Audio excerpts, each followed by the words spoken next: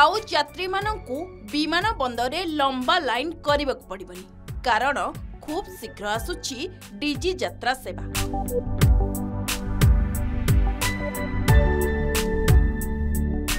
ଯାହାଦ୍ୱାରା ଯାତ୍ରୀଗଣ ସୁରକ୍ଷା ଯାଞ୍ଚ ସମୟରେ ଲମ୍ବା ଧାଡ଼ିରୁ ବଞ୍ଚିପାରିବେ ବିଶେଷ କରି ଭୁବନେଶ୍ୱରରେ କିଛି ମାସ ମଧ୍ୟରେ ଏହି ସେବା ଆରମ୍ଭ ହେବାକୁ ଯାଉଛି।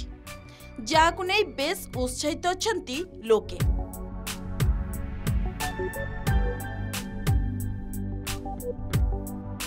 କେନ୍ଦ୍ର ସରକାର ଖୁବ୍ ଶୀଘ୍ର ଡିଜି ଯାତ୍ରା ସେବା ଆରମ୍ଭ କରିବାକୁ ଯାଉଛନ୍ତି ଆଗାମୀ କିଛି ମାସ ମଧ୍ୟରେ ପୁଣି ଚଉଦଟି ବିମାନ ବନ୍ଦରରେ ଡିଜି ଯାତ୍ରା ସେବା ଆରମ୍ଭ ହେବ ଏଥିରେ ବିଦେଶୀ ଯାତ୍ରୀଙ୍କୁ ମଧ୍ୟ ସାମିଲ କରାଯିବ ବର୍ତ୍ତମାନ କେବଳ ଘରୋଇ ଯାତ୍ରୀଙ୍କ ପାଇଁ ତେରଟି ବିମାନ ବନ୍ଦରରେ ଡିଜି ଯାତ୍ରା ସେବା ଉପଲବ୍ଧ ରହିଛି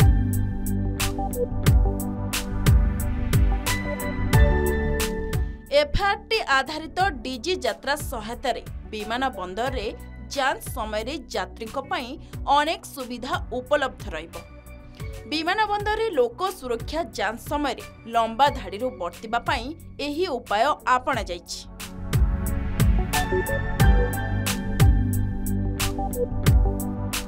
ରିପୋର୍ଟ ଅନୁଯାୟୀ କେନ୍ଦ୍ର ସରକାର ଚଳିତ ବର୍ଷ ମାର୍ଚ୍ଚ ମାସ ପୂର୍ବରୁ ଚେନ୍ନାଇ ଭୁବନେଶ୍ୱର କୋଏମ୍ବାଟୁର ଇନ୍ଦୋର ବାଗଡୋଗରା ଚଣ୍ଡିଗଡ଼ ରାଞ୍ଚି ନାଗପୁର ପାଟନା ରାୟପୁର ଶ୍ରୀନଗର ଏବଂ ବିଶାଖାପାଟନା ଭଳି ଚଉଦଟି ବିମାନ ବନ୍ଦରରେ ଡିଜି ଯାତ୍ରା ସେବା ଆରମ୍ଭ କରିବା ନେଇ ଯୋଜନା କରୁଛନ୍ତି।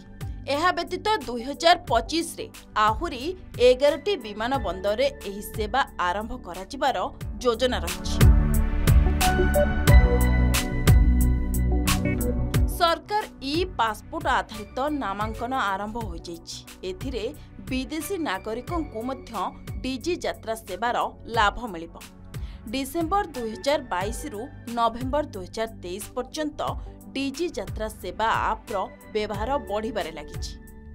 ଏଥିପାଇଁ ପ୍ରବେଶ ଏବଂ ବୋର୍ଡିଂ ସମୟରେ ଲାଗୁଥିବା ସମୟ ହ୍ରାସ ହୋଇଛି।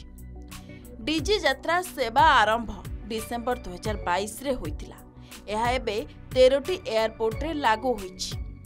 ଏଥିରେ ଦିଲ୍ଲୀ ବାଙ୍ଗାଲୋର ବାରାଣସୀ ହାଇଦ୍ରାବାଦ କୋଲକାତା ବିଜୟୱାଡା ପୁନେ ମୁମ୍ବାଇ କୋଚିନ୍ ଅହମ୍ମଦାବାଦ ଲକ୍ଷ୍ନୌ ଜୟପୁର ଏବଂ ଗୌହାଟୀରେ କାର୍ଯ୍ୟକାରୀ ହେଉଛି।